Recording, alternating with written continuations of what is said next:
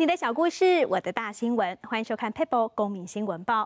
您会怎么安排自己的时间呢？在高雄有一位音乐老师，不止教钢琴，还要帮家里卖鱼。即使从早忙到晚，他仍利用时间做公益表演，过得充实又愉快。一段人生，你可以同时从事多少事情？一位音乐老师从小就开始帮家里卖鱼，音乐教到了现在，鱼也卖到了现在。我们一去的话，要先卸货，然后把一些东西整理好。对，那我的工作是负责算账跟收钱，感觉就很像那个收银员一样。每个深夜，他都无法休息，替家里把鱼卖出去。而早上，他还是必须回到他音乐老师的身份，去贯彻他的职业。但即便如此，他依旧想要在他仅剩不多的空间时间里。去协助他想要协助的人。有一天突然想到说，我可以做一些什么事啊？然后我就后来想到我这个朋友，我就跟他讲说，哎，你是不是都有在跑安养院啊、孤儿院什么的？他就说有啊有啊。那我就说，那我很想要去做一些公益表演。用音乐做公益是他想要去做的。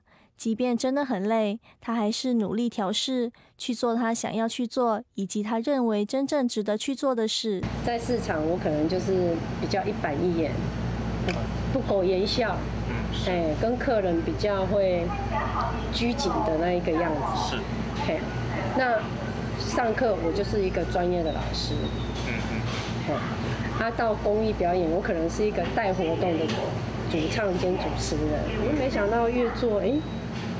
呼朋好友来了，嗯，一些同好来了，一些爱好音乐的也来了，然后一些想要做一些公益表演的朋友也来。对啊，我觉得越做越开心了呢，因为我因为这个公益活动认识这么多人。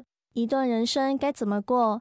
每个人都有自己的选择，而对他而言，或许这个选择对他来说十分艰难与辛苦，但重要的是他做得高兴又愉快。悠扬的乐声在桃园医院的门诊大厅响起，每天早上都有音乐职工在这里演奏，透过音乐的力量抚慰就医的群众，气氛非常温馨。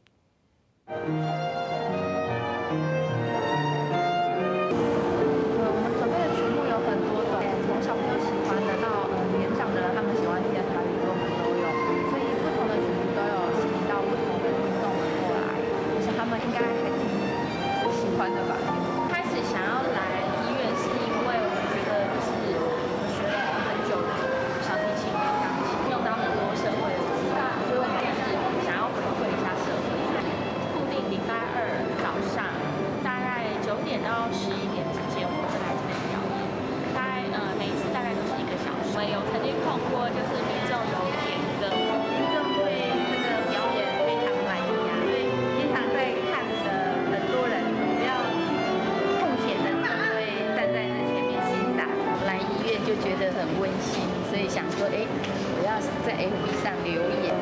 现在的医院已经这么棒了。